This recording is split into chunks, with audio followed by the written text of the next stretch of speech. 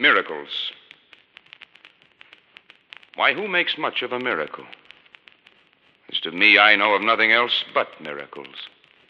Whether I walk the streets of Manhattan or dart my sight over the roofs of houses toward the sky, or wade with naked feet along the beach just in the edge of the water, or stand under trees in the woods, or talk by day with anyone I love, or sleep in the bed at night with anyone I love, or sit at table at dinner with the rest, or look at strangers opposite me riding in the car, or watch honeybees busy around the hive of a summer forenoon, or animals feeding in the fields, or birds, or the wonderfulness of insects in the air, or the wonderfulness of the sundown, or of stars shining so quiet and bright, or the exquisite, delicate curve of the new moon in spring.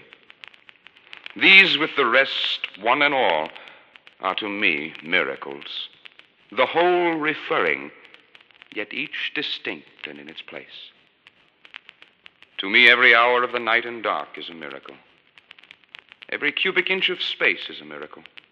Every square yard of the surface of the earth is spread with the same. Every foot of the interior swarms with the same. To me, the sea is a continual miracle. The fishes that swim, the rocks, the motion of the waves, the ships with men in them. What stranger miracles are there